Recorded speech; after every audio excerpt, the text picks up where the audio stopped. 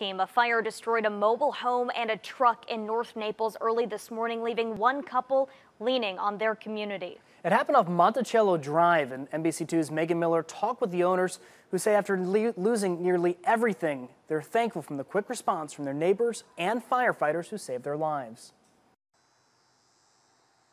Well, Judy Alborough and her husband were sleeping here when they were woken up by loud pounding at the door.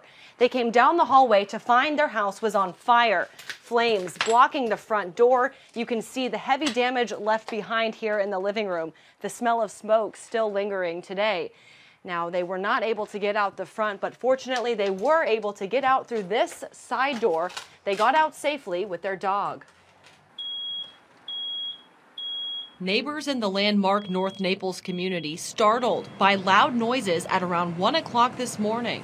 And that's what the neighbor heard too, pop, pop. It was coming from Judy Alborough's house, and it was on fire. But the flames were definitely coming through about 10 feet over the roof. Chris Nicholson and his wife rushing to the rescue. We ran next door, we're banging on the door, trying to wake him up. She was pounding, saying, Your house is on fire, get out, get out. Another neighbor calling 911. Even with this, we feel so grateful.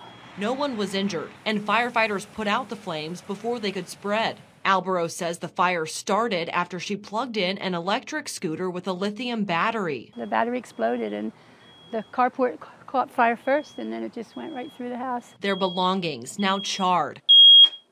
There we go. But they are counting their blessings. Neighbors coming together, watching out for each other, the quick response of the neighbors, the quick response of the firemen and the policemen. A woman who normally helps others. Well, I'm the welcome committee lady for this community. The day before this fire, I took a whole truckload over to the hurricane uh, people for the Bahamas. Now leaning on them. We gave them a place to stay. We had an extra house. We just are so glad that we got out. We feel so blessed and so grateful.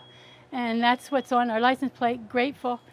Now, the Red Cross is also helping the couple get back on their feet. What they say they need most is medical supplies, like a new walker and a new electric scooter. You can see the remains of this one here.